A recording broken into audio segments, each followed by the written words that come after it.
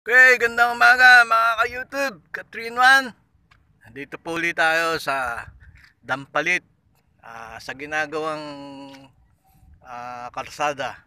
Okay, nagpi-fishing po kami para malibang ng konti at sana marami kaming mahuli para lalong masaya. Kararating lang namin at nagsisimula na kaming ah, mamansing. Marami rin po namasyal ngayon at nag-jogging dito. Yan. Yan po.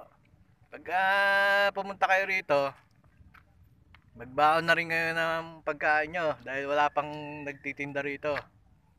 Tsaka tubig. At wag kayo pupunta ng Taglan, medyo putik pa.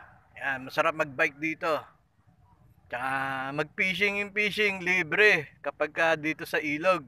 Pero pagka dun sa palaisdaan, wag. Baka iba mahuli nyo dyan.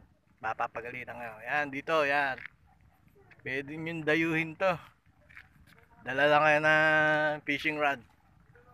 Yan. Ito nyo, ayan, mga dumadayo na yung mga bikers. Oh. Isa sa mga nang tanawin to sa Malabon City. Madaling puntahan, malapit. At tsak na mag-enjoy kayo. Magbaon kayo ng payong kung takot kayo sa araw, sa init. Okay. Subscribe po kayo mga ka-YouTube.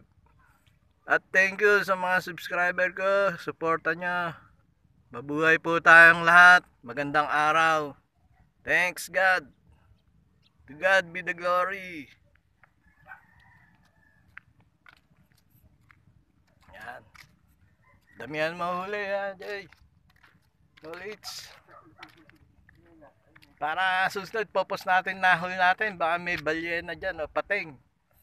Pero sabi nila, ano, mga bidbid, buwan-buwan, tilapia.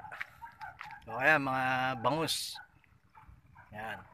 Yung sirena, eh baka nasa, ano pa yan, nasa laot pa. Yan, oh.